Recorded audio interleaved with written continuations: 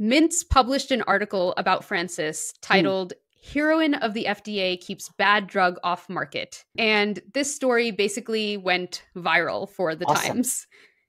Frances was hailed as a savior with the article saying, quote, Kelsey prevented the birth of hundreds or indeed thousands of armless and legless children, end mm. quote.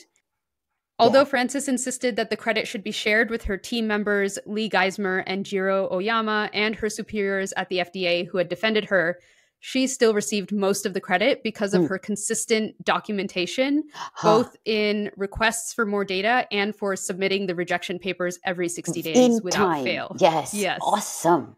Awesome. Yes. Wow. Wow. That is that is really good. That is yeah. Sometimes good things do happen to good people. yes. it's nice. Yeah.